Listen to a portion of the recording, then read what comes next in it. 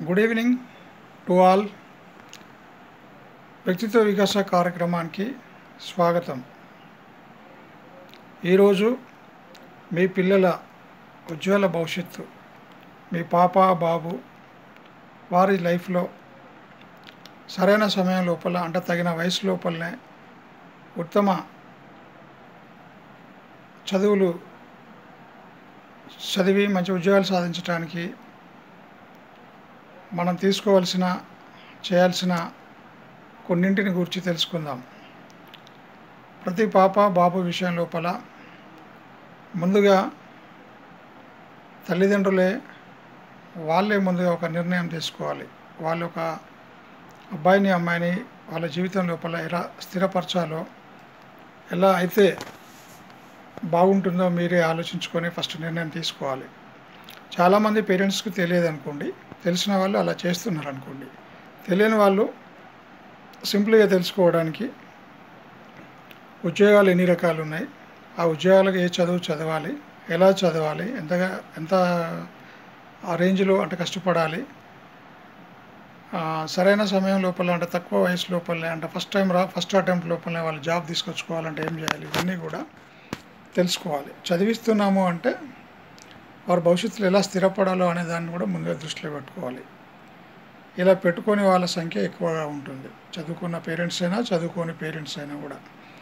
దాని వలన ఈ ముందు ప్లాన్స్ ఎవరైతే ఉన్నారో ఆ ఫ్యామిలీస్లోనే ఇంట్లో ఎందరు ఉంటే అందరు జాబ్స్ సంపాదించుకుంటున్నారు.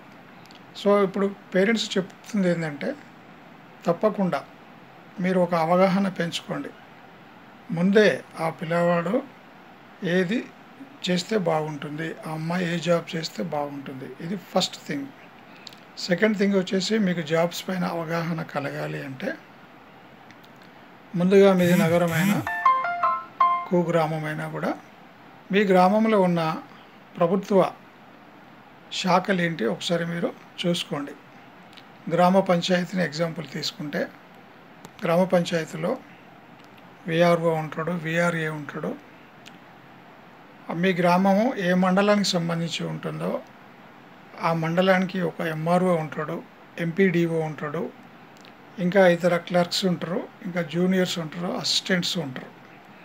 మీ ఊరికి అది గ్రామ పంచాయతీ. ఆ గ్రామ పంచాయతీ లోపలనే ఎడ్యుకేషన్ మీ స్కూల్ ఉంటుంది మీ ఊర్లో. ఆ స్కూల్లో పీఈటీ ఉంటాడు టీచర్స్ ఉంటారు హెడ్ మాస్టర్ ఉంటాడు. అలానే మెడికల్ వైద్యం తీసుకుంటే ఒక సిస్టర్ అమ్మ ఉంటుంది లేదా మీకు అందుబాటులో ఒక డాక్టర్ కూడా ఉంటా ఉంటాడు.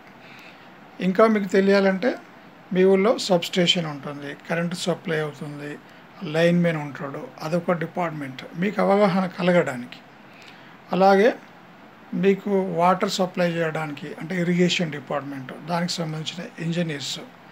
మీకు రోడ్లు వేస్తూ ఉంటారు ఇంజనీర్స్. బిల్డింగ్స్ స్కూల్ బిల్డింగ్స్ కడతా ఉంటారు.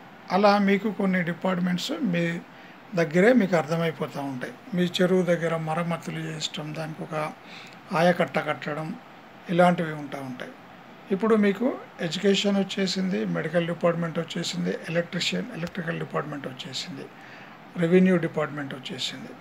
ఇలా మీకు మీ ఊర్లోనే జరిగే వాటిపైన మీకు ఒక అవగాహన ఉండి దీంట్లో పెద్ద స్థాయి ఉద్యోగాలు రావాలంటే ఏం చేయాలి? ఇప్పుడు ఎంపీడీఓ ఉంటాడు ఎంఆర్ఓ ఉంటాడు వాళ్ళ పైన డిఆర్డిఏ ఉంటాడు ఆర్డీఓ ఉంటాడు ఆ తర్వాత కలెక్టర్ గారు ఉంటారు.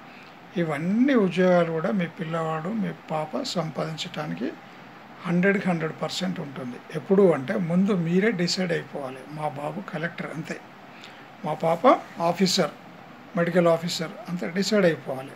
బేసిక్ నుంచి వెళ్ళి వాళ్ళని బాగా విపరీతంగా చదివించాలి. ఆ చదువు వాళ్ళు ఇక్కడ హార్డ్గా తీసుకోకుండా వారికి వాళ్ళ భవిష్యత్తు ఎలా ఉంటుందో తెలియజేయడం మీ బాధ్యత.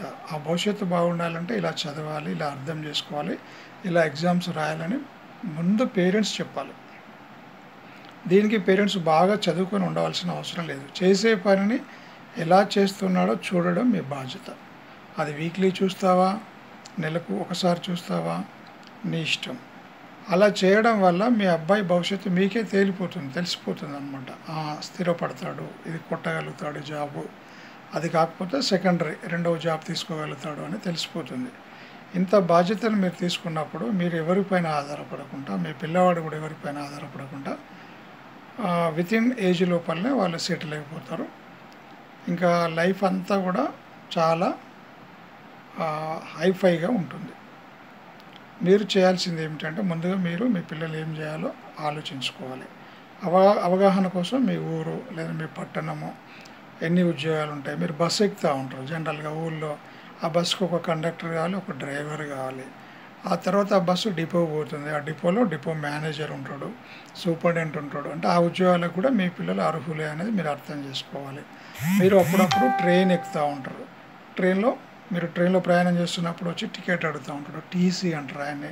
ఆ ట్రైన్ ఎలా వెళ్తుంది? డ్రైవర్ నడిపిస్తే ట్రైన్ వెళ్తూ ఉంది. అంటే ఒక డ్రైవర్ కావచ్చు అని చెప్పి.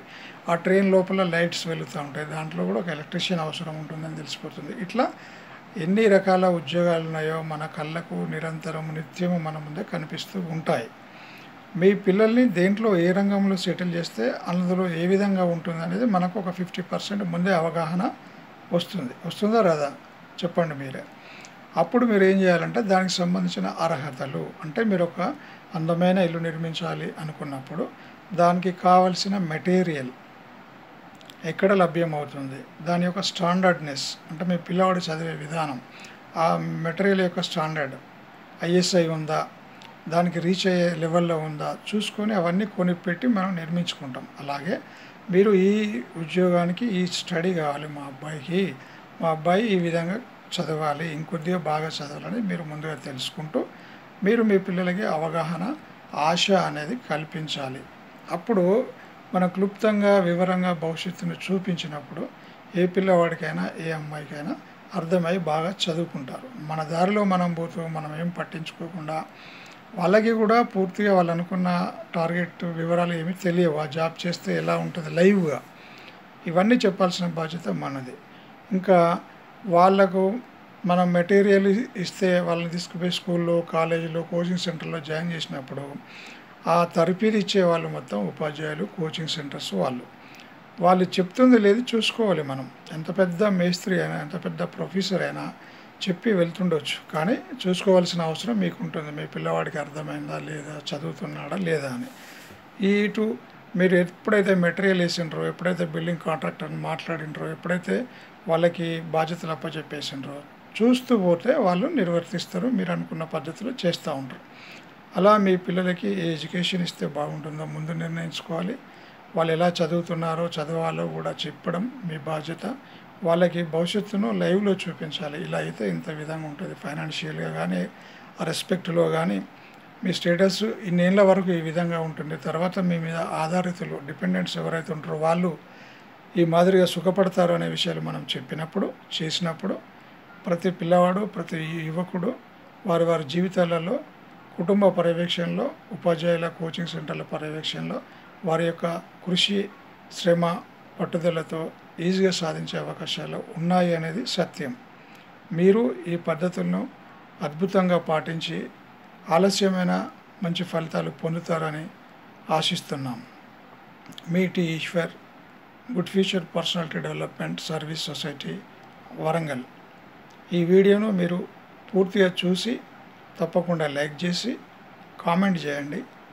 ఆ తర్వాత మీరు చూస్తున్నప్పుడు వీడియో కింద రెడ్ లెటర్స్ తోటి సబ్స్క్రైబ్ అనే బటన్ ఉంటుంది. తప్పకుండా మర్చిపోకుండా మీకు ఇది నచ్చినప్పుడు సబ్స్క్రైబ్ కూడా చేసుకోండి. ఇంకా మీ మిత్రులకి బంధువులకి ఫ్రెండ్స్కి మొబైల్స్ ఉన్న వాళ్ళందరితో సబ్స్క్రైబ్ లైక్ చేపిస్తారని ఎంతో ఆశతో చూస్తూ థ్యాంక్ యూ సో మచ్